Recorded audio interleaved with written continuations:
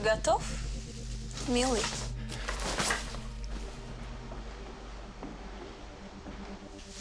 Ты уверен? Да. Ну тогда иди сюда. Ну, иди. Нет. Сегодня у нас будет другая игра. Сегодня я буду ученицей, а ты будешь моим учителем.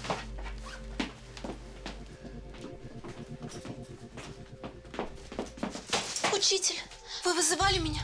Я немного провинилась. Только не наказывайте, меня очень больно. Хорошо? Я люблю наказывать маленьких нехороших девочек.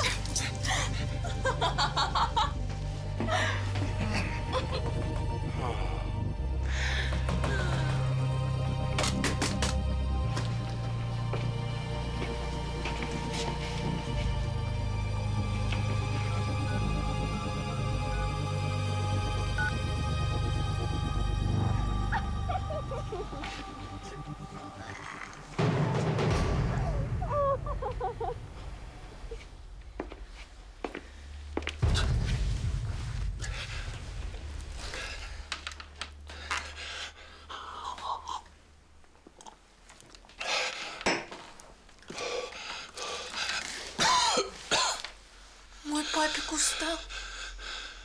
Котик больше не хочет наказывать свою девочку.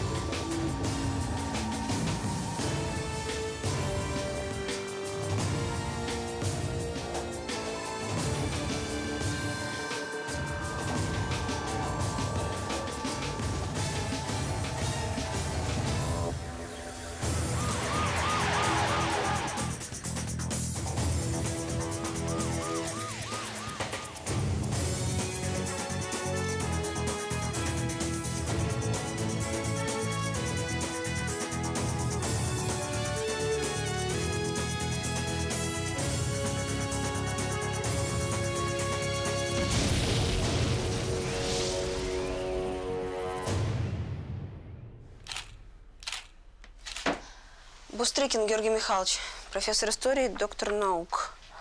В узких кругах известен как собиратель редких старинных монет. На шее странгуляционная борозда. А я вот никогда ничего не коллекционировал, даже марки не собирал. Ну, может, поэтому ты еще и жив. Тело обнаружил его сосед. Профессор любил с ним за чашечкой кофе сыграть партию в шахмат. Похоже, тут с профессором играли в другие игры. Наручники из секс-шопа. Тут след от сапога. И след явно не Бустрыкина. Я пойду в дворе посмотрю. Я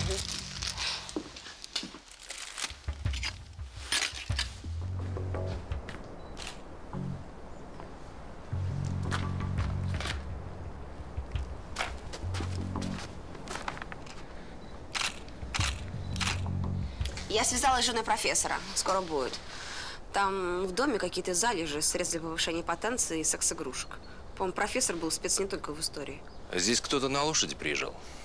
Георгий Михайлович Бустрыкин занимался историей белого движения. Он часто ездил в экспедиции в Сибирь. Что это нам дает? Он что, искал там пропавшее золото Колчака? Бустрыкин хорошо известен как специалист по старинным монетам. Его отец собрал неплохую коллекцию, а начал дед. Монеты украли? Неизвестно, сейчас на месте работают Белый и Гранин. Дом профессора перерыт. Преступники явно что-то искали. Он что, держал коллекцию у себя на даче? Родные у него есть, дети, внуки. Детей нет. Единственная наследница – жена. Нина Бустрыкина. Нина Валерьевна, нам нужно, чтобы вы осмотрели дом внимательно и сказали нам, что из вещей пропало. Хорошо, я готова. Скажите, а где вы были вчера вечером? Вы знаете, у меня очень болен старший брат. Он лежит в больнице, и я все дни провожу там. И вчера? Вчера я тоже была в больнице.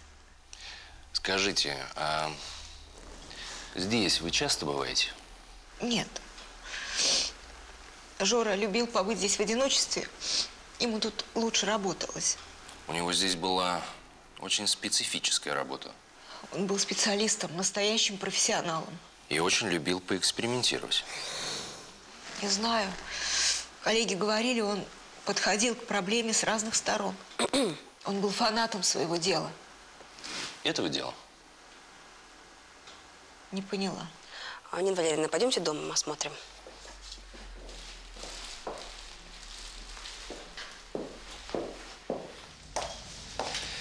Ну что, какие результаты?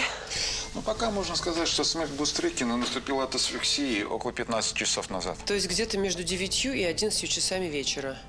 Меня интересует орудие убийства. Можно дать его примерное описание по виду странгуляционной борозды? Ну что ж, пойдем посмотрим.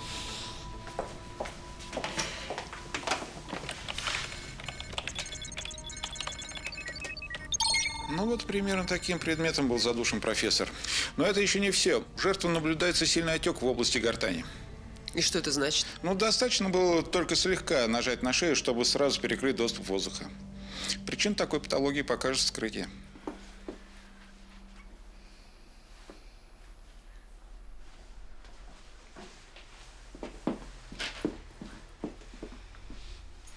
Значит, вы со всей уверенностью можете утверждать, что в доме ничего не пропало. Да и не могло. Ничего ценного здесь Жора не хранил. Разве только по списке журналов для научной работы. А где он хранил коллекцию монет? А коллекцию он недавно поместил в банк. Арендовал ячейку. Оксан. Жена убитого чаще всего звонила вот на этот номер. Телефон ее брата. Он в больнице лежит уже полгода. А, есть еще смс отправлена вчера утром. Да, да, да. Вчера это в день убийства. А откуда она была послана? поселок Родники. Это там, где находится его дача. В организме Бустрыкина я обнаружил биологический яд. Растительный алкалоид, вороний глаз. Очень ядовитое растение. Довольно широко используется в народной медицине. Погоди, профессор был отравлен? Вот и оно, что нет. Бустрыкин э, умер от асфиксии. И в то же время у него в крови и в печени была обнаружена большая концентрация вороньего глаза, который вызвал серьезное нарушение в его организме. Это легкие убитого. Обширная псевдолегочная пневмония. Запущенная форма. Летальный исход обеспечен. Вопрос нескольких недель. Галина Николаевна. Жена профессора солгала нам. Она уезжала вчера из больницы. Вот смс ее брата. Ты где? Скоро будешь? И ее ответ. Да, да, да. Ответ она отправила, судя по всему, сдачу. Кто-то довел женщину или СМС брата пришло не вовремя? Три раза «да». Отлично. Я восстановил информацию из разбитого телефона профессора. Я залезла в электронную почту новоиспеченной вдовы. Запросы на оценку загородного дома. Похоже, что ей не терпелось его продать. А знаете, кто звонил нашему профессору последним? Некто Джон Буллит, американец, работает в компании по розыску кладов «Клады Групп». Сейчас телефон выключен. В собственном загородном доме задушен профессор истории Георгий Бустрыкин. Его жена Нина Бустрыкина ухаживала в городе за больным братом и приезжала на дачу редко. При вскрытии в организме Бустрыкина обнаруживают яд растительного происхождения – вороний глаз. Этот препарат используется в народной медицине, однако убитый принял смертельную дозу. Летальный исход мог наступить в любой момент. Селиванов нашел яд в желудке профессора. Отрава не успела перевариться. То есть он ее где-то здесь принял. Только где может быть яд?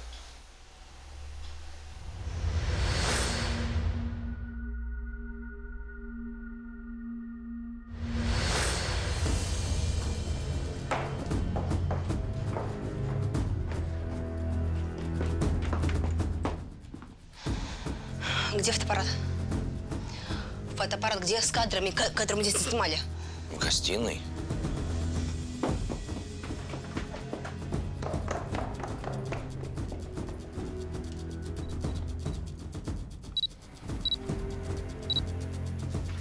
Есть бутыль. Только кто ее мог взять? Нина. Мы ее сами к брату в больницу отпустили. Вот она.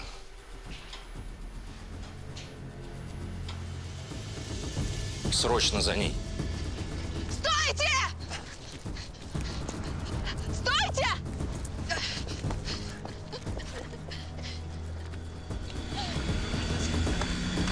Стойте! Стойте! Что случилось? Нам нужно осмотреть вашу машину. Пожалуйста.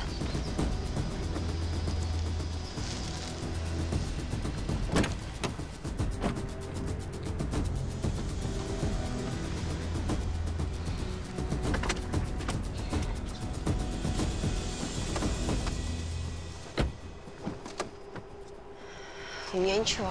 У меня тоже пусто. Можете ехать.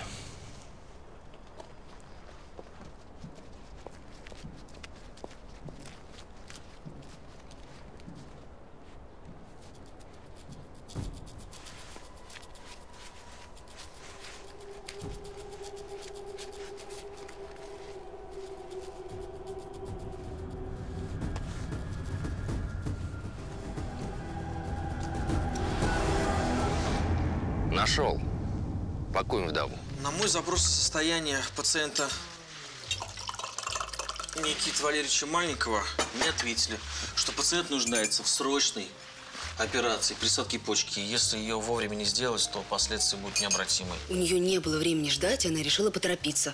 Думаешь, Нина задушила собственного мужа? Навряд ли. Я думаю, она кого-то наняла. Э, Следы в доме явно мужские.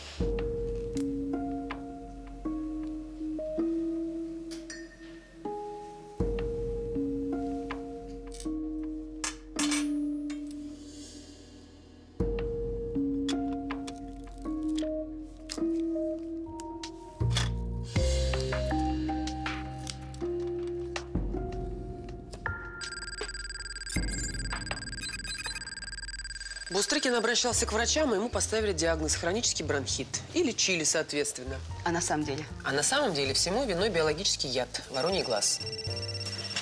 Извините. Слушаю. Я сравнила химический состав и рецепт изготовления настойки вороньего глаза. Так. В составе настойки зашкаливает доза активного вещества. Почти 60%. А по рецепту производителя должно присутствовать не более 20% экстракта вороньего глаза на 200 мл. Это все? На заводах применяют фильтры высокой очистки. А в настойке присутствует осадок. Я думаю, что ее изготовили в домашних условиях. Я полковник Рогозина. Нина Валерьевна Бустрыкина. Вам будет предъявлено обвинение в организации убийства вашего мужа, Георгия Михайловича Бустрыкина. Ну, я... Вы обманули следствие. Вы приезжали в день убийства. Потом вы разбили и пытались скрыть бутылку с настойкой вороньего глаза, которой отравили вашего мужа. Hello, Mr. Bullet. Uh, this is the Federal Expert Service. We need to ask you a few questions. Yes, yes, but uh, I'm now on an expedition in Mongolia. We're excavating in ancient city. Tomorrow I'm coming to Moscow and I'll go to your office straight away. Is that okay? Okay, Mr. Bullet. Thank you very much. Что сказал-то? Я не могу так просто уйти. Мне нужно, очень нужно, понимаешь? За кого ты меня принимаешь? Я что, по-твоему, похож на миллионера? Ну, у тебя же вышел сборник статей. Приятно, что ты следишь за моим творчеством, но эти деньги уже отложены. Куда отложены? Кому? На подарки ей? Хорошо. Хорошо, я про нее не скажу ни слова. Но мы же можем продать коллекцию. Что? Ну тогда давай продадим этот дом. Здесь же есть и моя доля.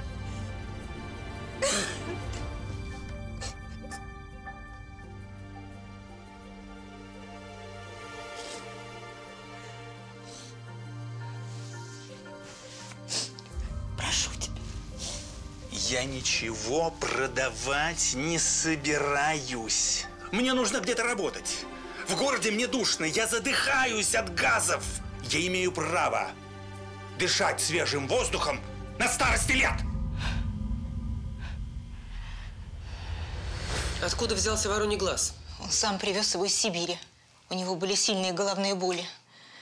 Эта настойка стала избавлять его от мигрени. На вашем фартуке обнаружены следы изготовления настойки вороньего глаза. Ее делали уже здесь, в Москве. Все правильно. Он привез сам корень. Я только увеличила дозу.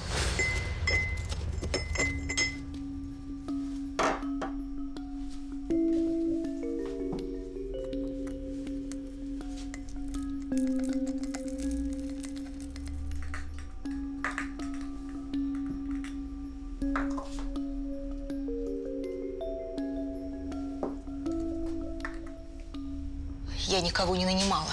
Это во всем Алка виновата. Что за Алка? Соседка наша.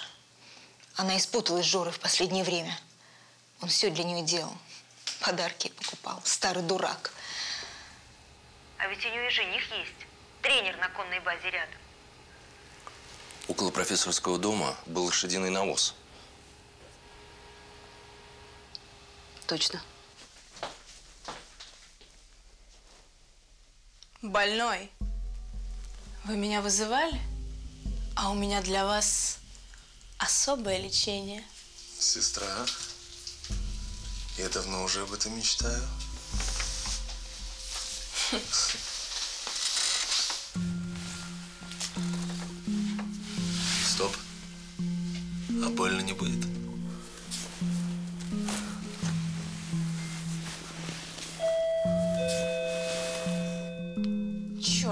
кого там еще принесло? Не открывай. Сделаем вид, что нас нет дома. Да подожди. Кто там? Федеральная экспертная служба. Откройте дверь.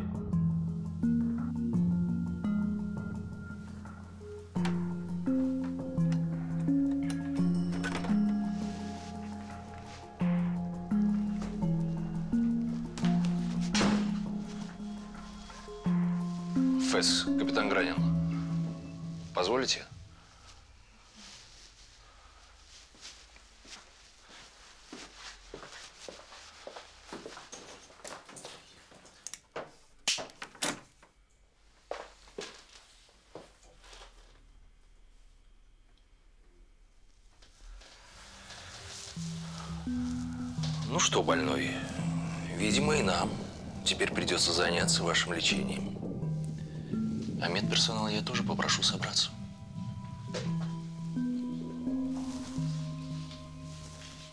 Черняев Альберт Маркович. Где вы были вчера в 10 часов вечера? Надо было сразу идти в полицию, как только услышал про убийство профессора. Что ж не пошли? Да вот Алку послушал. Видите, как получилось? Еще хуже. Да, я действительно был вчера в доме профессора, только убивать его я не собирался.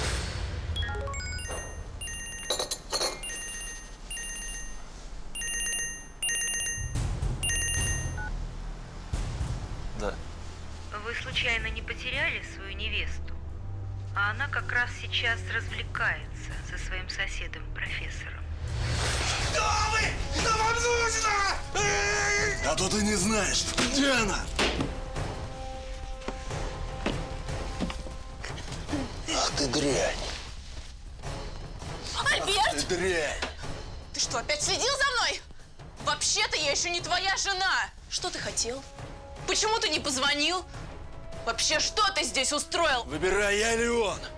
Ну, живей! Такие вы мужчины странные. Я даже не знаю. Ну, давай! Альбертик, ну, конечно, ты. Ты что?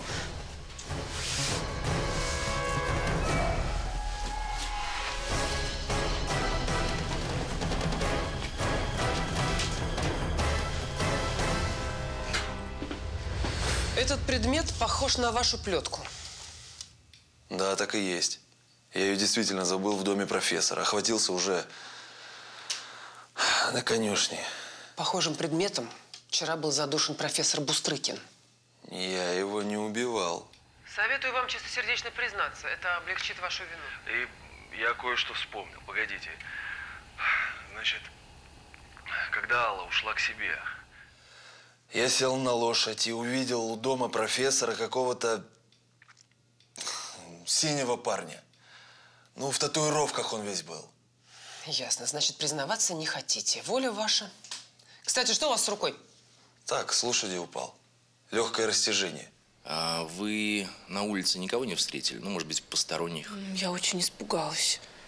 Я с тех пор по сторонам вообще не смотрела. Спасибо вам большое, Алла Алексеевна. Вы очень помогли следствию. Солдат и крестьянка. Что? Солдат берет в плен скромную девушку. Подумайте об этом, майор.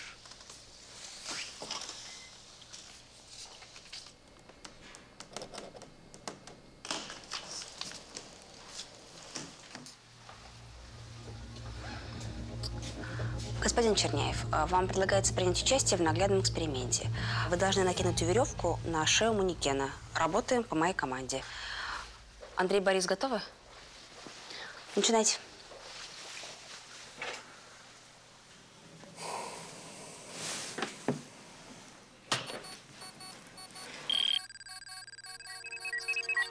Своем доме задушен профессор истории Георгий Бустрыкин. Преступник явно что-то искал, но из дома ничего не пропало. Эксперты установили, что убитый регулярно принимал настойку растения вороний глаз. Из-за неправильной концентрации Бустрыкин заработал смертельное и неизлечимое заболевание. В доме обнаружена бутылка с настойкой вороньего глаза. В отравлении обвиняют жену профессора. Нина Бустрыкина признается в отравлении. Однако нападение в доме совершил мужчина. Выясняется, что у профессора была интимная связь с соседкой Аллой Пономаревой.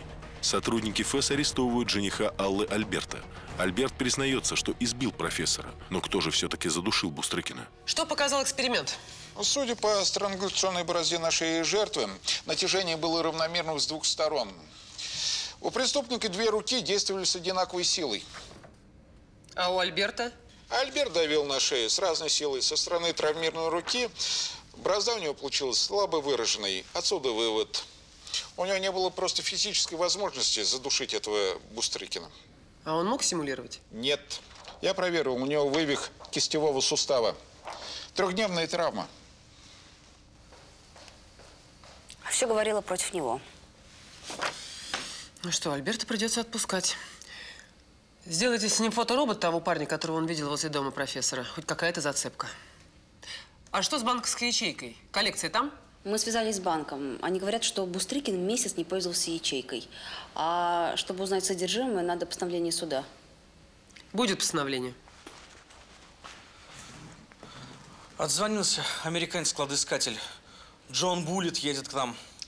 Похоже, мы возвращаемся к твоей версии о золоте Колчака. How do you know, Mr. The Siberian Он говорит, что его фирма вышла на Бустрыкина как на консультанта по сибирскому региону. А мистер Буллет собирался встретиться с ним на предмет семинаров для сотрудников российского представительства компании. Ну и удалось им встретиться? Have you managed to meet with him? Unfortunately, I didn't. I, uh, professor was busy. К сожалению, встреча не состоялась, так как профессор был занят, а мистер Буллет вынужден был улететь в экспедицию. Ладно, скажи ему, что он свободен. Все равно бесполезный. Это переводить не надо. Thank you very much. I think you may go. My pleasure. Thank you. Uh, one more thing. Can I ask my savior to join me for dinner tonight? Oh, of course. It will be my pleasure to keep you company. Thank you.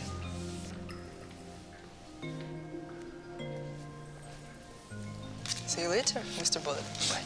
Thanks.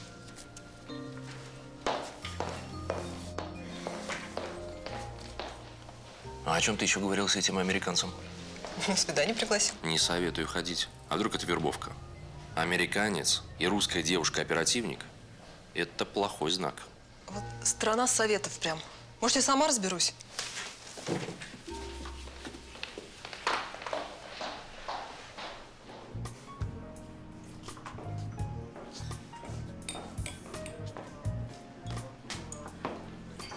I'm sorry I'm late.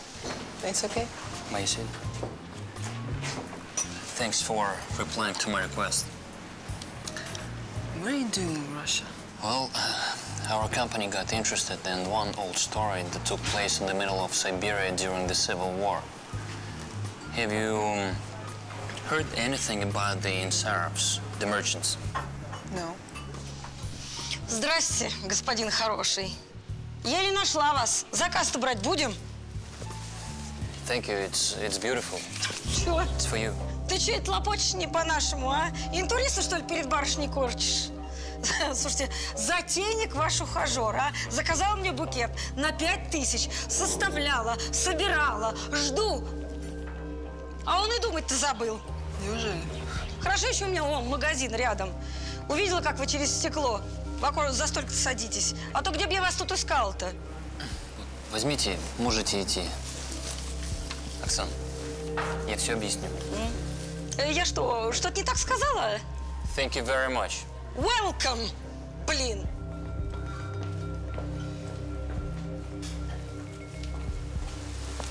Это вам. Спасибо.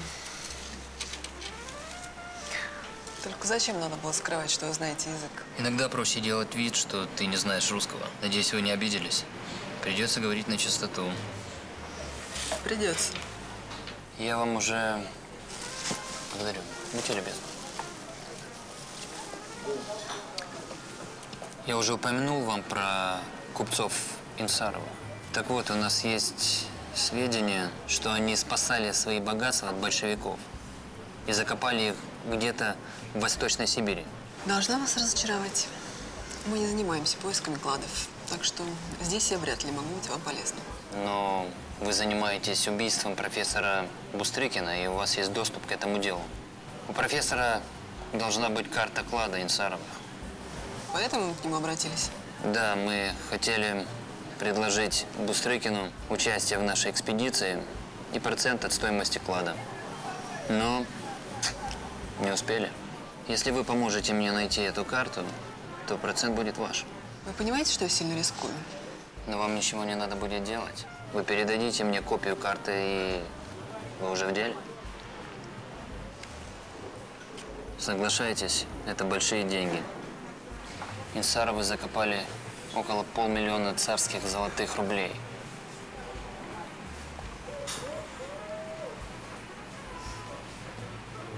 Мы с вами обеспечим себя до самой старости. Благодарю.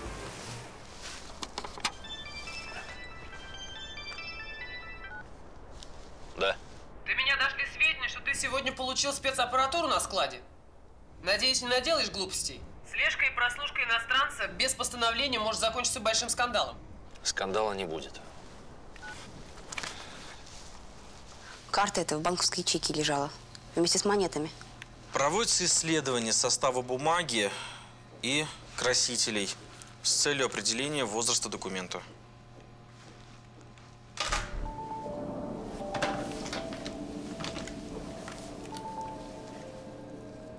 Ничего себе.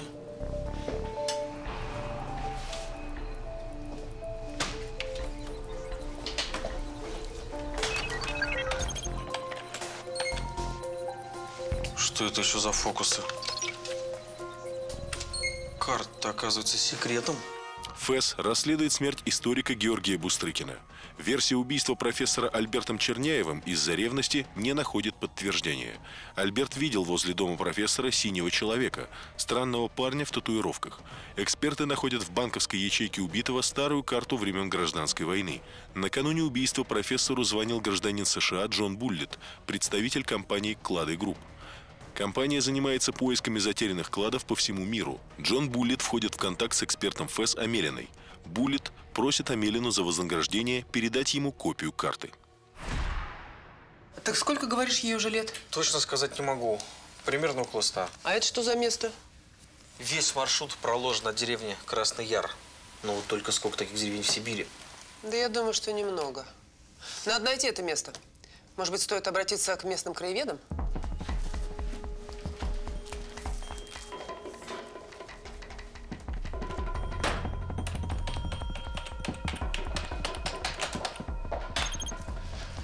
Галина Николаевна, наш американец Джон Буллет на самом деле американцем и не является. И как это понимать? Его настоящее имя Жан Булатов, выходец из семьи русских эмигрантов, живет в США.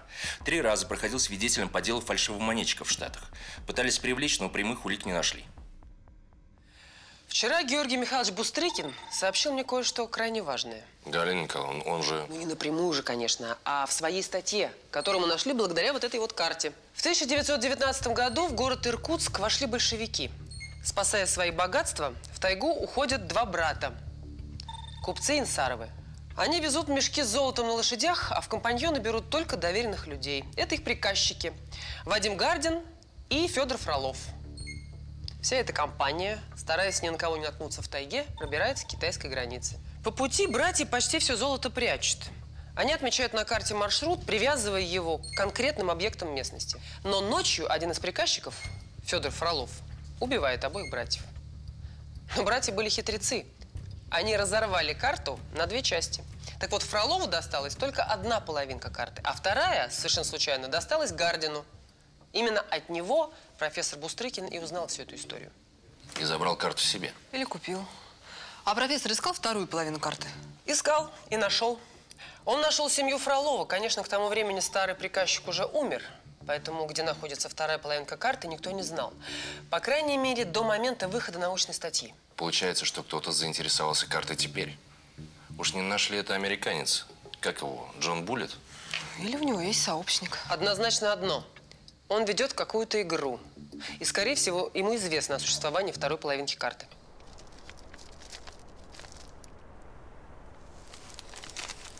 Да, это она.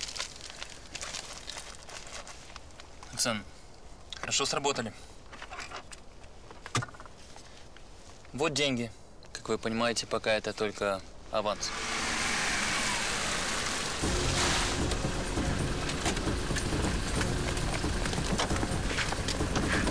Голову вниз не могу.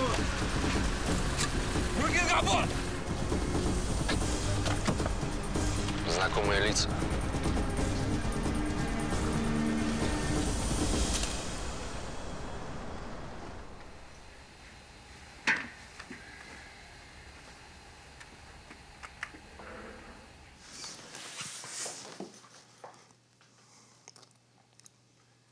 Чем вы договорились с гражданином США Джоном Буллетом при первой встрече? Он предложил мне изъять из дела Бустрыкина карту старого клада. Сделать ее копию и передать ему. И сколько было обещано за это? 20% от суммы клада. Подзаработать решили? Или решили устроить свою личную жизнь? Плохо, гражданка Амелина, что не хотите сотрудничать со следствием. Рогозин рвет и мечет. А я оправдание тебе ищу, как дурак. Мою вину определит суд. Отвалите от меня все. Американец встречался с убитым профессором? Вот сами у него и спросите. Уведите меня в камеру.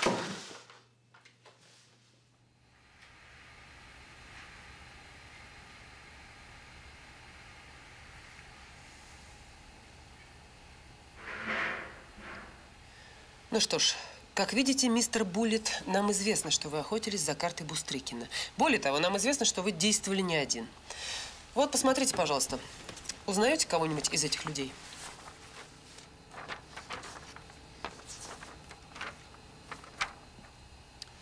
Вот этот. Где, когда и при каких обстоятельствах вы с ним встречались? Месяц назад пришел человек, назвался Эдуардом Фроловым. Поведал, что у него есть половина карты и предложил мне ее купить. И какова была ваша реакция? Я отказался от половины и сказал, что куплю только целую. На ней ведь не было сетки координат. Даже если была бы, то разброс мог составить десятки километров по тайге. Где же вторая половина? Тогда он и назвал фамилию профессора Бустрыкина. И вы связались с Бустрыкиным? Да, я позвонил профессору Бустрыкину, и он подтвердил, что у него есть половина карты, но американцам ее никогда не отдаст. Сказал, что у него уже есть партнер, и только с ним будет искать клад. И что сие значит? Это означает, молодой человек, что мы становимся с вами несметно богаты, как только найдем родную сестру этой карты. Понимаете? Черт, но дед мне ничего такого не рассказывал. Значит, у него были на то причины. Это тайна его жизни. А вы думаете, я вас так долго разыскивал? Для того, чтобы старые байки вам рассказывать? Она должна быть где-то в вашем доме, доме ваших предков. Надо искать, Эдуард. У меня сейчас бизнес разваливается. Развод на носу. Я должен какую-то старую карту искать. Ну, вы не понимаете, как это важно. Это переменит всю вашу жизнь.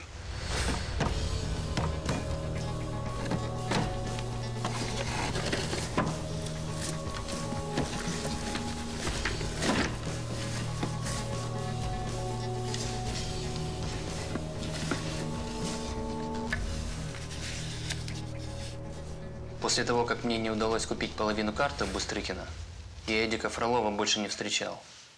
О смерти профессора узнал только вернувшись из Монголии. У вас есть телефон Фролова? Вы должны связаться с ним и назначить встречу. Я вам ничего не должен. А вот вы мне должны адвоката и консула из посольства. Я вообще-то гражданин США. Будет вам консул. Завтра с утра. Галина Николаевна, тут такое дело. Нашего американского друга разместить негде. Что значит негде? Ну, в одиночке Амельна сидит. Остается только общее. А кто там сейчас? Сейчас там Миркин по делу о тройном убийстве. Дубов, два педофила и Гордеев, который по пьяни свою жену зарезал и сейчас прикидывается сумасшедшим. Но вы не переживайте, они спокойные, тихие ребята. Только будьте начеку ночью и не поворачивайтесь к ним спиной. Я согласен. Что вы там хотели? Кому звонить? Вот ваш телефон. Звоните Эдуарду Фролову и назначайте встречу. Посмотрите внимательно на этих людей. Есть среди них тот, кого вы видели около дома профессора Бустрыкина? Да, вот этот вот. Второй справа.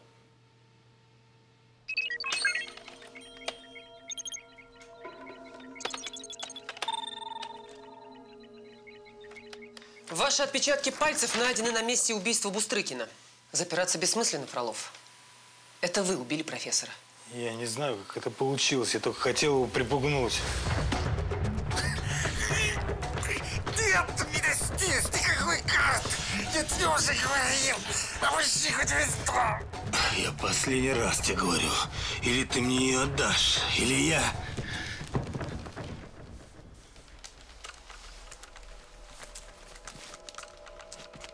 Склад принадлежал только мне. Почему он не отдал мне эту карту? Я не хотел его убивать. Почему он мне ее не отдал? Смотрите внимательно. На другой стороне всегда находилась вторая часть карты, куда братья Инсаровы закопали золото. Карту рвали для отвода глаз, чтобы никто чужой не смог ей воспользоваться. У вас на руках всегда была карта полностью. Только нарисована была она невидимыми чернилами.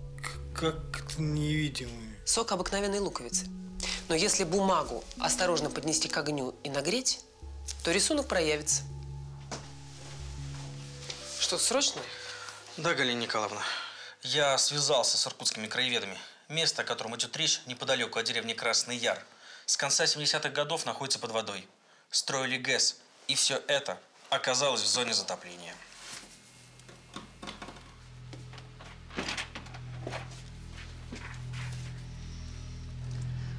Спасибо за работу. Ты даже меня почти убедила в корыстности своих намерений. Рагузина премию обещала.